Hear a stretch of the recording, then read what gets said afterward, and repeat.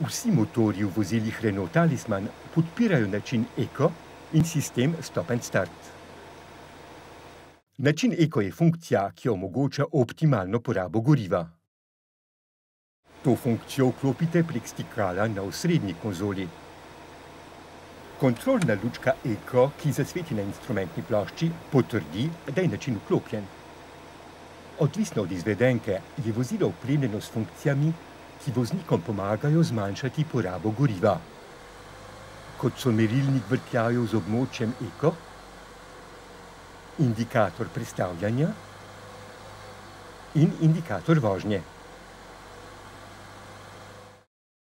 Ko je motor zaustavljen, poročilo o poti prikaže informacije o zadnji vožnji.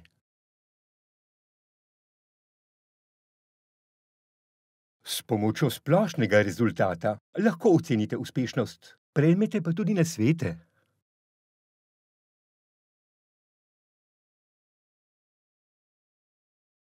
Sistem Stop and Start se aktivira ob zagonu vozila.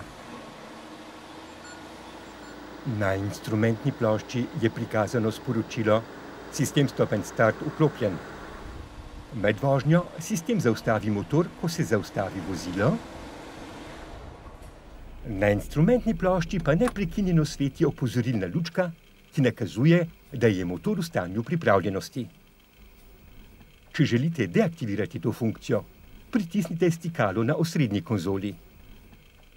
S ponovnim pritiskom znova aktivirajte sistem.